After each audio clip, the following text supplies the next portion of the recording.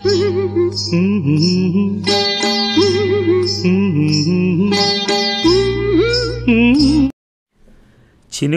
చిగురించిన వేళ. రచన వడలి రాధాకృష్ణ గారు. రూప ఫోన్ చేసింది.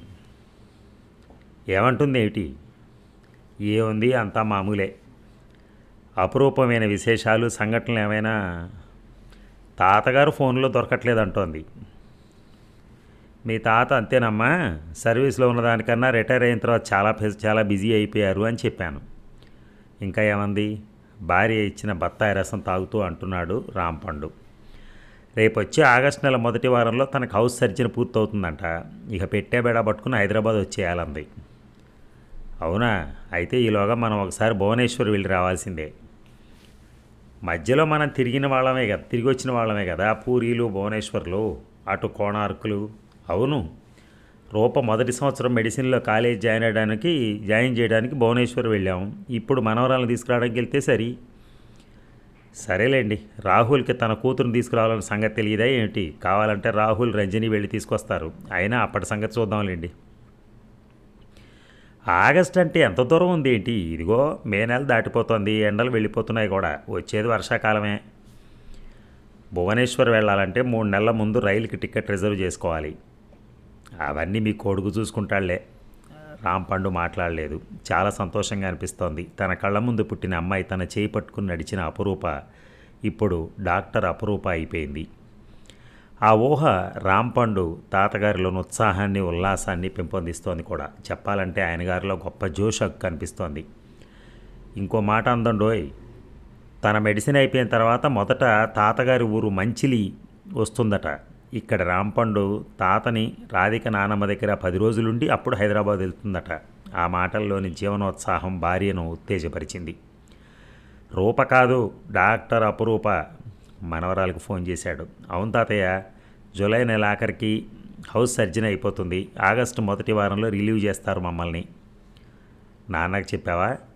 చెప్పడం ఏమిటి తాతయ్య? రోజు చెప్తూనే ఉన్నానుగా. డాడీ ఇక్కడికి వస్తానంటున్నారు కానీ రావద్దని చెప్పాను. నేను తాతయ్య దగ్గరికి వెళ్తాను. ఈనాటికి మీరు ఆనాటికి మీరు మంచిలు రండి అని చెప్పాను. మనవరాలి మాటలు ఉన్నతంగా అనిపిస్తున్నాయి. ఎంబీబీఎస్ తర్వాత నీ ప్లానింగ్ ఏంటి? అదే తాత పోస్ట్ గ్రాడ్యుయేషన్కి ఎంట్రన్స్ రాద్దామని అక్కడికి వస్తున్నాను కదా. నువ్వు మంచి సలహా పారేద్దు కానీ నీ సలహాయే నాకు కావాలి. సరేనా? అపురూప మాటలు తనకు మంచి సంతోషాన్ని ఇస్తాయి. రాహుల్ది ట్రాన్స్ఫరబుల్ జాబ్ కావడంతో మనవరాల బాధ్యతని చిన్నతనం నుంచి తానే ఎక్కువ తీసుకున్నాడు. మనవరాలని చెప్పుకోవటం కాదు కానీ రూప చాలా తెలివైన అమ్మాయి. చదువులో ఎప్పుడూ ముందుండేది. తమ కుటుంబంలో ఇంతవరకు ఎవరూ డాక్టర్లు కాలా. అందుకే తన మనవరాలు మంచి డాక్టర్ కావాలని ఆశపడ్డాడు. రాహుల్ది రంజనీలది కూడా అదే ఉద్దేశం కావడంతో మెడిసిన్ వైపు అడుగులేశారు. భువనేశ్వర్ నుంచి మనవరాలు వస్తున్నందుకు రాంపండుకి మహదానందంగా ఉంది. రాధికైతే సరే సరి డాక్టర్ మనవరాలు వస్తున్నందుకు తెగ సంబరపడిపోతోంది. ఊరిలోని వారందరికీ తన మనవరాలి రాకను అదే పనిగా తెలియజేస్తూనే ఉంది. నిన్ననే రాహుల్ రంజని హైదరాబాద్ నుంచి వచ్చేశారు. కోణార్క్ నిడదవోలు వచ్చేసరికి సాయంత్రం అవుతుంది. దాన్ని నేను వెళ్ళి తీసుకొస్తాను. ఎందుకు నాన్న? పెద్దవాడివి నీకు ఆశ్రమ ఎందుకు చెప్పు? నేను ఇంట్లో ఖాళీగానే ఉన్నాను కదా. మధ్యాహ్నం ప్యాసింజర్కి వెళ్తే రాత్రి ప్యాసింజర్ దగ్గరికి వచ్చేయచ్చు. మీరు ఎలాగో నిడదవోలు వెళ్ళేది లేదు. కనీసం స్టేషన్కి ఆ వీర్రాజు ఆటోని పురమాయించండి. చీకటి పడిందంటే మంచిలి స్టేషన్లో ఆటో కాదు కదా. కనీసం పురుగు కూడా కనిపించదు. అది నువ్వు చెప్పాలా? వాడికి మొన్ననే చెప్పేశాను. మనవరాలు వస్తుందన్న ఊహ రాంపండు నిలవనీయకుండా చేస్తోంది. ఆనందంతో ఉక్కిరిబిక్కిరి అవుతున్నాడు మనవరాలు రాక కోసం అదే పనిగా ఎదురు చూస్తూనే ఉన్నాడు. తాతగారి దగ్గరికి డాక్టర్ మనవరాలు వచ్చేసిందో ఆటో దిగుతున్న కూతుర్ని చూసి రంజని అరిచినంత పనిచేసింది అవును రాంపండుకి చిన్న చిట్టి తల్లి గుర్తొచ్చింది. బుడి బుడి అడుగుల నుంచి నడక నేర్చి తన చేయి పట్టుకుని నడిచిన చిన్నారి కనిపిస్తోంది.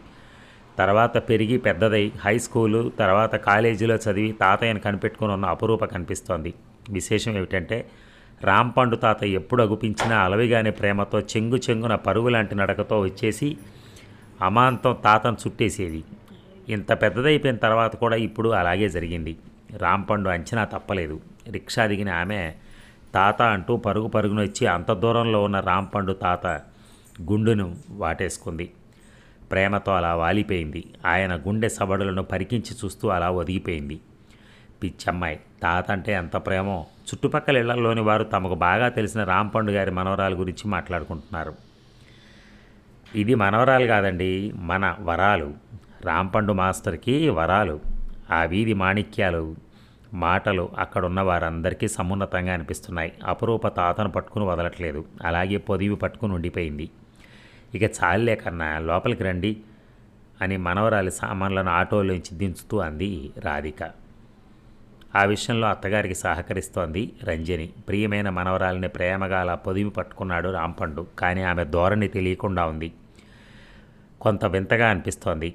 తాత ఆమె మాటలు కొంత దృఢంగా ఉన్నాయి. మరికొంత కలవరంగానూ అనిపిస్తున్నాయి. ఇక చాలేండి పదండి ఇంట్లోకి. తాపీగా కూర్చుని మాట్లాడుకోవచ్చు. రాంపండు సున్నితంగా దూరంగా జరప జరగబోయాడు.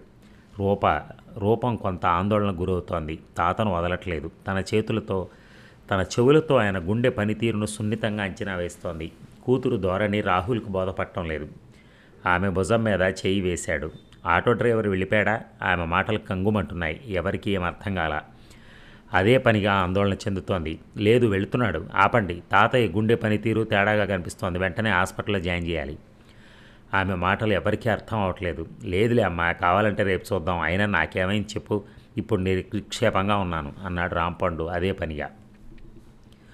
అపురూప మొహంలో ఒక విధమైన ఆందోళన మాటల్లో గగురుపాటు కనిపిస్తోంది. తండ్రికి దు దగ్గరగా జరిగి ఏవేవో వాస్తవాలను వివరించి చెప్తోంది. కూతురు ఉద్దేశాలను రాహుల్ శ్రద్ధగా ఆలకిస్తున్నాడు. అంతవరకు నవ్వుతూ ఉన్న ఆయన మొహం. గంభీరంగా మారిపోతోంది. అంతే వెళ్ళబోతున్న ఆటోని వెనక్కి పిలిపించాడు. తాను తండ్రి రూప రాధిక ఎక్కిన ఆటో రిక్షా తాణుకులోని పెద్ద హాస్పిటల్ వైపు దూసుకెళ్తోంది. సకాలంలో చాలా గొప్ప నిర్ణయం తీసుకున్నారు. ఈ అమ్మాయి తాతగారి హార్ట్ బీట్ స్థితిలోని తేడాలను చాలా సున్నితంగా అంచనా వేసి వెంటనే హాస్పిటల్కి షిఫ్ట్ చేయించింది. చెప్పాలంటే ఈయన్ని చాలా పెద్ద ఉపద్రవం నుంచి కాపాడగలిగింది. లేకపోతే మూడు నాలుగు గంటల్లో హార్ట్ స్ట్రోక్ తప్పక వచ్చే పరిస్థితుంది. ఐసీయూలో ఇచ్చిన రాంపండు టెస్ట్ చేస్తూ అంటున్నాడు హాస్పిటల్ చీఫ్ సూపరింటెండెంట్. ఈ అమ్మాయి నా కూతురు మెడిసిన్ చదివి ఈ రోజునే తాతగారింటికి వచ్చింది అనుకోకుండా ఇలాగా అవును డాక్టర్ అక్కడ భువనేశ్వర్లోని కాలేజీలో హాస్పిటల్లో తర్వాత నా హౌస్ సర్జన్లోనూ ఇటువంటి హార్ట్ బీట్ డిఫర్ కేసెస్ చాలా చూసాం అందుకే తాత విషయంలో భయం వేసి అవునమ్మా ఇక్కడ కూడా మాకు ఇలాంటి క్రిటికల్ కేసులు వస్తూనే ఉంటాయి. సకాలంలో గ్రహించి హాస్పిటల్కి షిఫ్ట్ అయిన వారు సర్వైవ్ అవుతారు. లేకపోతే మన చేతుల్లో ఏముండదు. అంత పెద్ద డాక్టర్ మాటలు వీరిని భయభ్రాంతులు చేస్తూనే ఉన్నాయి. ఇప్పుడు ఆ క్రిటికల్ కండిషన్ నుంచి పరిస్థితి ఓవర్కమ్ అయింది. అయినా పది రోజుల వరకు లంగ్ పెర్ఫార్మెన్స్ని అంచనా వేయాల్సి ఉంటుంది. తాతగారి మొహంలోకి చూసింది రూప. ఆయన స్పృహలోనే ఉన్నారు. మొహం అంతా కృతజ్ఞతా భావనతో నిండిపోయి ఉండడంతో రామపండు మొహం వెలిగిపోతోంది. మనవరాలిగా తాతయ్యకు దగ్గరగా జరిగింది. అంతలోనే ఒక డాక్టర్గా స్టెథోస్కోప్ను చెవిలో పెట్టుకుని ఆయన గుండె పనితీరును అంచనా వేస్తోంది. కాస్త అటు ఇటుగా ఇంత క్రితంలాగే ఉంది. ఇక్కడి డాక్టర్లు ఐసీయూలో అన్ని విధాలా పరీక్షిస్తున్నారు.